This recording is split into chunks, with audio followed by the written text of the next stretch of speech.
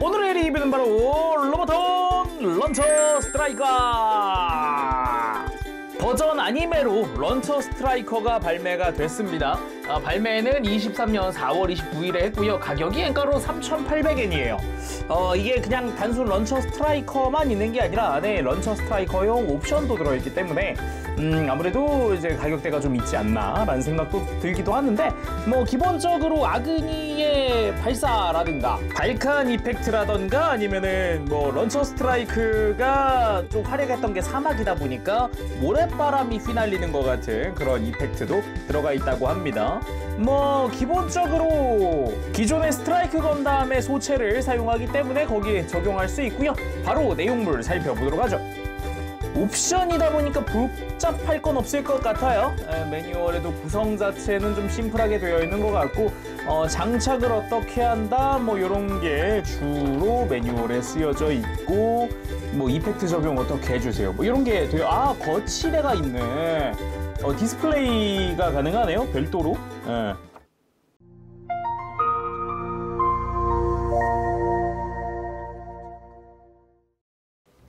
자 구성을 전부 꺼내봤습니다. 이 거치대는 미리 좀 만들어 놓은 상태고요. 하나하나 좀 살펴보도록 하죠. 먼저 아그니 그 로보톤의 사이즈가 사이즈인 만큼 막 엄청 크다는 느낌은 아니고요. 뒤쪽에 에너지팩 쪽을 보면 좀 얇다라는 느낌도 들기도 해요.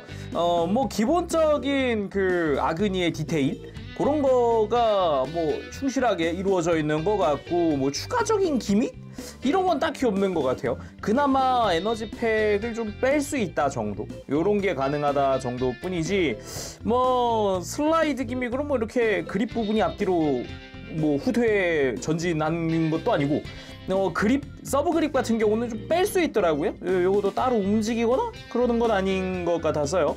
어, 그나마 요 포구 부분에 자세히 보면은 이 검은색 이거 도색이더라고요. 어라? 싶기도 했고요. 어, 뭐 노란색이라든가 빨간색 포인트, 어, 물론 도색이기도 하고 어, 초록색 자체적으로 일단 사출색 어, 그걸 사용을 하고 있어요. 그리고 백팩인데 어, 기본 디테일, 디자인 충실하게 지켜주는 그런 느낌이에요.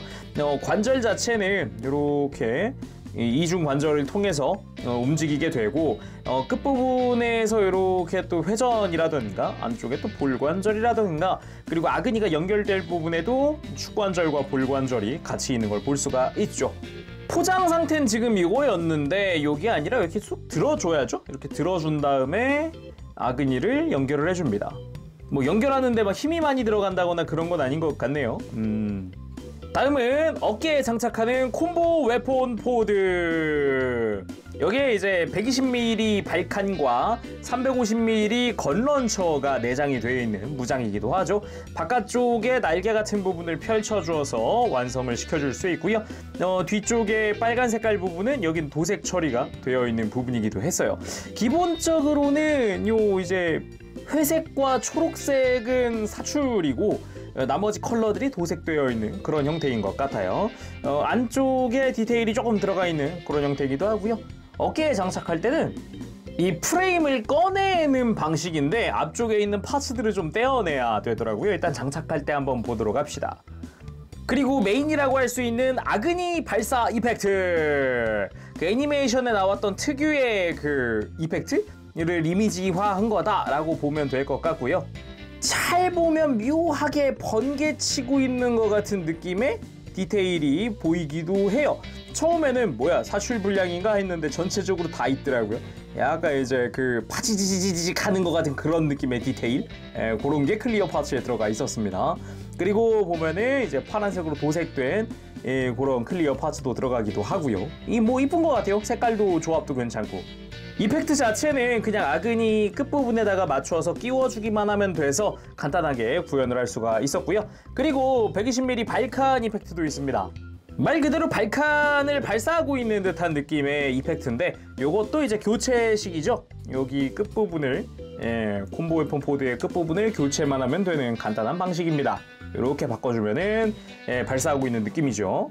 그리고 모래먼지가 일어나고 있는 듯한 effect 발 밑에 적당히 놔주면 될 것 같아요 그리고 런처 스트라이커를 전시할 수 있는 거치대인데 약간 캐터펄트 디테일도 조금 있기도 하고요. 나중에 나올 소드 스트라이커에도 동일한 형태의 parts가 들어가지 않을까 싶은 그런 생각이 드는 형태네요. 콤보 웨폰 포드 장착할 때는 이 앞부분의 parts들을 제거를 해줘야 합니다. 이렇게 빼주면 되고요. 제거 후에 안쪽에 프레임을 이렇게 그대로 빼주면 됩니다. 안쪽 방향으로 슬라이드해서 분해가 가능하고요. 이거를 앞뒤를 분리를 해서 어깨에 장착하는 형태예요. 연습 삼아서 거치대에다 한번 장착을 해봤습니다. 이렇게 예, 프레임 먼저 끼우고 방금 분리했었던 나머지 외장들 전부 다 장착을 해주고요. 그리고 백팩도 수납을 할 수 있겠죠. 백팩은 그냥 그 뒤에다가 바로 연결을 해- 할 수가 있어서 이대로 전시할 수 있는 형태입니다. 뭐 이렇게 보니까 그냥 이것만 전시하기엔 되게 심심하긴 하네요. 나중에 다른 옵션들 동시에 다 같이 전시해 놓지 않는 이상은. 뭔가 느낌이라면 딱 이런 거 같은데 앞에다가 스트라이크 건담 세워놓고 나중에 나올 옵션들 막 뒤에다가 이렇게 세워놓고 이런 느낌인 것 같기는 한데 뭐 아무래도 예, 그냥 저는 역시 본체에 끼는 게 나은 것 같아요. 껴보도록 합시다. 끼우는 방식은 방금 거치대에 끼운 거랑 같습니다. 프레임을 먼저 분리를 해서 예, 먼저 조립을 해주고요. 그 다음 콤보 웨폰 포드 가지고 와서 슬라이드 그한 다음에 나머지 커버 다시 씌워주면 끝. 백팩은 그냥 갖고 와서 등에다 끼우면은 끝. 장착 완료! 런처 스트라이크 건담! 아이 근본근본하다 멋있구만 그냥 문득 딱 떠오른 건데 뭐 내년에 뭐 시드 극장판이 나온다고 하는데 뭐 일본에서 개봉한다고 하잖아요 과연 스트라이크 건담이 거기서도 등장을 할 것인가 이게 어떻게 보면은 이 효자잖아요 건담 시드의 효자 뭘 해도 되는 애 막 이런 느낌이잖아요 시- 그 스트라이크 건담이 과연 거기서도 나올까요? 자 먼저 아크엔젤에서 출격 후에 지상으로 떨어지는 느낌으로 포즈를 한번 취해봤습니다. 바닥에 착지도 해야 하는데 어, 처음 이제 지구에 내려왔을 때일 거예요. 그 사막에서 활약했을 때가 당시에는 제대로 걷지도 못했죠. 그리고 바닥에 착지해서 제대로 서지 못하고 약간 엉거주춤한 느낌으로 포즈를 한번 취해봤습니다. 이러고서 이제 주변에 바쿠가 막 이렇게 샹샹샹 돌아다니는 그런 느낌을 줘야 하지 않나 싶네요. 그리고 어깨에서 발칸을 막 발사하고 있는 것 같은 느낌으로 이러고서 살짝 이렇게 상체 돌려주면 요런 느낌으로 쏜다고 생각하면은 얼추 맞지 않나 싶네요. 그리고 아그니를 손에 쥐어주어 봤습니다. 아, 아무래도 이 아그니 특유의 박력이 있잖아요. 근데 아무래도 로보톤이다 보니까 사이즈 때문인가? 묘하게 박력은 있으나 박력은 있으나 뭔가 이 아그니 자체의 볼륨감은 좀 절제된 거 아닌가? 라는 생각이 들기도 하고요. 아니 어떻게 보면 애니메이션이나 이런 데 비율이 딱 요 느낌으로 나오니까 맞는 것 같기도 하고요. 근데 그러자니 뭔가 좀 더 컸으면 좋겠어 라는 생각이 좀 들기도 하네요. 그 다음은 아그니 액션. 역시 런처 스트라이크 건담 하면은 아그니죠. 이 아그니 특유의 볼륨감 박력 이런 게 가장 크지 않나 싶네요 그리고 아그니 이펙트까지 장착을 해봤습니다. 발 뒤에는 이제 모래먼지 이펙트까지 끼워놓은 상태라서 어, 이게 사실상 풀세트라고 봐야겠죠. 이 상태에서 뭐 어깨 발칸을 쓰진 않으니까 이펙트는 예, 끼진 않겠습니다만 이게 어떻게 보면 진짜 이 제품의 목적이라고 할 수 있죠. 그리고 발사 후에 아그니를 한쪽으로 촥 이렇게 내려놓은 그런 느낌으로 포즈를 취해봤는데 요거 비슷한 포즈가 뭔가 갑자기 대자뷰가 빡 느껴져서 생각을 계속 해봤어요. 지금 이거 그레이트 다간 포즈인데 마지막에 피니시하고서 딱 포즈 잡는 거 그거 아닌가 싶기도 하더라고요. 이번엔 그런 아그니를 들고 다시 아크엔젤로 귀환하거나 아니면 점프하는 그런 느낌으로 한번 포즈를 취해봤는데 어, 분위기는 확실히 예, 근본스럽게 아주 좋습니다. 애초에 소체 자체도 그렇고 이 버전 아니메가 이 초 슈퍼 근본을 목표로 하잖아요. 좋은 것 같아요. 물론 지상 액션뿐 아니라 이렇게 공중에서도 아그니 effect 끼고 스탠드 올리고 이런 것도 가능하니까 여러 가지 구도로 만들어줘도 좋겠죠. 그리고 아직 뭐 소드 스트라이커도 안 나왔고 그리고 퍼펙트 스트라이크용 parts도 없지만 그냥 분위기만 한번 내봤습니다. 백팩을 그 프레임 떼어내고 예, 그리고 백팩을 에일팩으로 바꾸고 해줬는데 예, 여전히 예전에 그, 그 프라모델에서도 봤었던 게 보여요. 지금 요 분위기는 요 분위기가 맞잖아요. 여전히 좀 보이는 거는 약간 추억이기도 한데 요거 요거 요거 이 combo weapon pod가 요 이제 백팩에 걸려가지고 살짝 어깨를 앞으로 빼줘야 되는 요 요거 있어요. 예전에 프라모델 때도 요게 있었거든요. 아 지금 말하는 프라모델은 이제 구판 네, 퍼펙트 스트라이크가 공식이 아니던 시절 얘기하는 거예요.